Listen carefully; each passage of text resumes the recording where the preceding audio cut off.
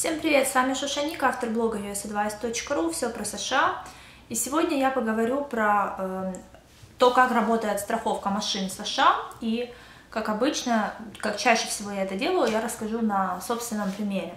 Э, за 4 года моего водительского стажа в США два раза э, у меня были аварии, но, слава богу, маленькие э, не по моей вине, и я сейчас как раз расскажу, что делается в таких случаях и как вообще работает страховка. Значит, начну с самого, э, самого недавнего случая. Это было в конце прошлого года, в декабре 2013 -го. Я стояла на светофоре, и в меня сзади врезалась машина, ну, совсем чуть-чуть, да, то есть э, ничего серьезного там не было, только царапины на бампере. Значит, эм, что происходит вообще в таких случаях, э, в отличие от Украины, потому что, насколько я знаю, в Украине, если произошла авария, то те, кто стукнулись, они, общем, так и стоят там и ждут э, страховщиков или полицию, или не знаю, кого они там ждут. Но я помню, я когда жила в Киеве, очень часто можно было наблюдать сцену, там утром едешь на работу, машины стоят, там авария где-то посреди дороги, они прям так там и стоят посреди дороги. Вечером возвращаешься, они все еще так же, точно так же и стоят. Значит, здесь не нужно стоять, так как вы э, ударились, а, вы отъезжаете на обочину, ну или там подъезжаете куда-то, и там уже решаете все вопросы. Расскажу конкретная ситуация, которая у меня случилась в декабре. Мы отъехали, вообще было, было уже очень поздно, где-то около 11 вечера, и у меня еще в машине были родственники, как раз они приезжали ко мне в гости, и водитель машины, которая меня стукнула, он, в общем-то, сразу сказал, я виноват. Ну, потому что я не знаю, как вообще в других странах, но в США, насколько я знаю, если ударили сзади, то это уже 100% э, вина того человека, который ударил. То есть даже если вас подрезали и ударили, или еще что-то, то удар сзади — это вина того, кто ударил.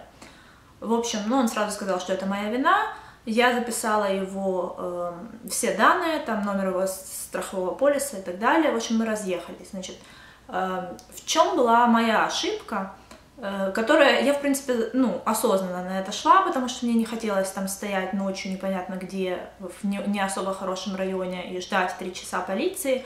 Значит, э, в идеале нужно всегда вызывать полицию э, на место аварии, потому что даже если авария маленькая, ничего не произошло, но если есть какие-то повреждения, вы хотите, чтобы их починили, в моем случае это были царапины на бампере, то э, в идеале нужно вызывать полицию, чтобы они составили протокол и чтобы они записали там в протоколе, что значит, кто виноват, кто не виноват и что будет происходить. Потому что если, потому что страховая компания, она, в общем-то, прислу... Э, ну, решает, принимает решение на основе э, протокола полиции. Если полицейский так написал, значит так и есть. Э, если полиция не была вызвана, и ну, в нашем случае мы просто разъехались, это уже как бы остается на совести каждого из нас. То есть я позвонила в его страховую компанию, рассказала ситуацию, они все записали, сказали, хорошо, мы с ним свяжемся, посмотрим.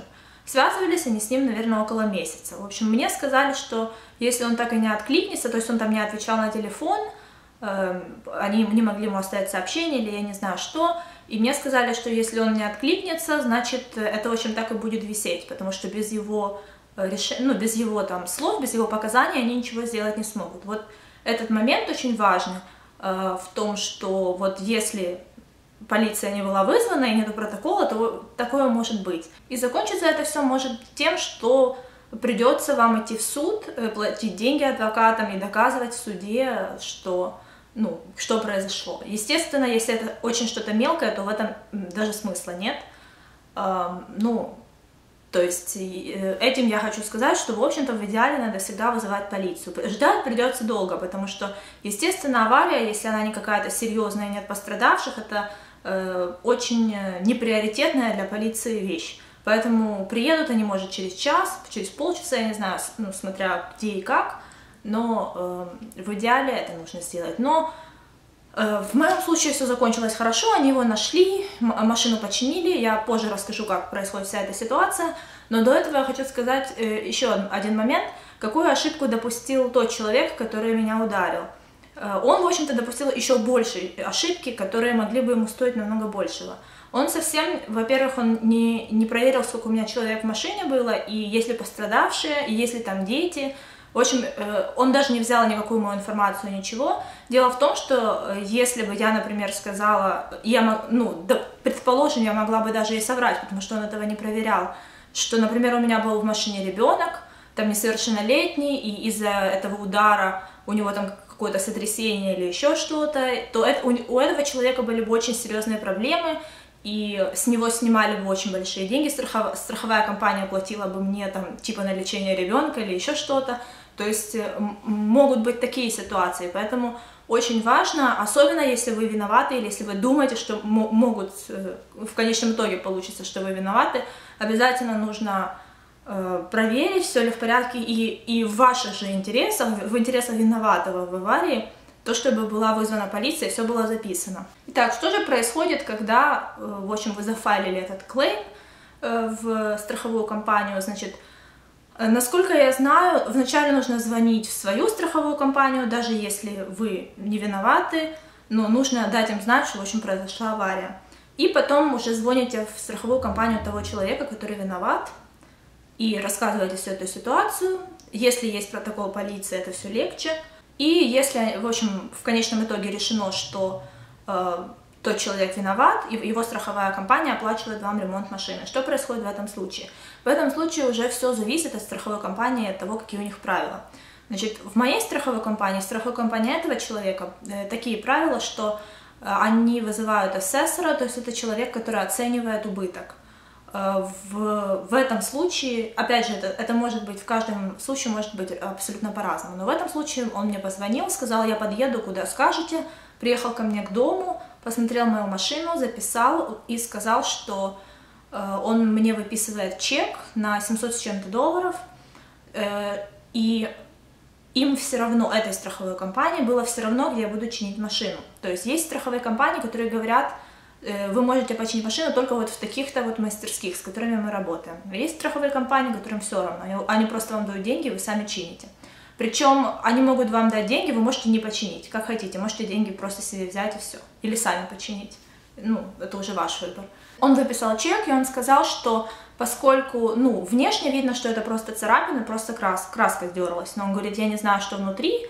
Если там что-то треснуло или что-то погнулось, то тогда это, мастерская может ему позвонить, и он поднимет эту цену, он там прямо так, так и записал, что это внешний осмотр, если что-то внутри не так, он уже будет сам договариваться напрямую с э, мастерской, и ну, они уже будут решать. То есть как бы это, это уже не, не ваши проблемы. Кроме этого, страховая компания еще часто оплачивает э, арендованную машину, на которой вы, будете ездить, пока вашу машину будут чинить. Но опять же, нужно внимательными быть, и не, не, не делать так, что вы машину отдаете на починку в пятницу, а забираете в, во вторник или в среду, потому что на выходных вам никто ничего оплачивать не будет. То есть они хотят, чтобы вы отдали машину на починку в понедельник или во вторник и забрали до конца недели, потому что на выходных они не, оплачивать не хотят ничего, ну, там, а, машину отдельную и так далее. Если, конечно, это не какая-то серьезная поломка, которую нужно чинить там неделями. Так что вот с этим чеком я пошла в мастерскую, в которой мне починили машину. Там, в общем, оказалось ничего нет, просто бампер поменяли и все. Это э, ситуация, которая произошла недавно. И я говорила, еще одна ситуация произошла, уже когда я, еще когда я в Нью-Йорке жила. Э, менее, еще менее серьезная ситуация. Э, просто на парковке опять меня совсем чуть-чуть поцарапали. Сзади тоже совсем только краску стерли. Э, в, в том случае мы вызвали полицию, и э, полицейский записал все наши данные, и мы договорились так, что просто этот человек сам починит мне машину. Он сказал, что у него есть какие-то знакомые в мастерской, он с ними договорится, и он им заплатит, или я не знаю там как, и они просто починят, потому что там была всего лишь краска.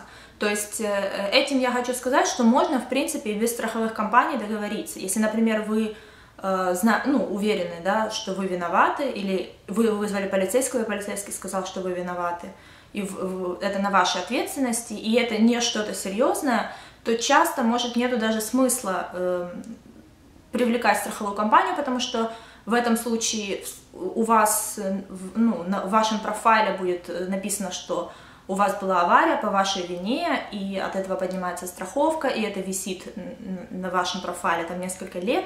То есть если это что-то несерьезное, если, и если у вас нет проблем с деньгами, вы можете там, я не знаю, 200-300 долларов, я не знаю, сколько это стоит, ну, заплатить, э, из собственного кармана, то можно и договориться и так. То есть можно сказать, что я починю, там, или у меня есть знакомые в мастерской, которые починят, или что-то в этом роде. Или там я заплачу, вы почините, э, если они согласятся, конечно.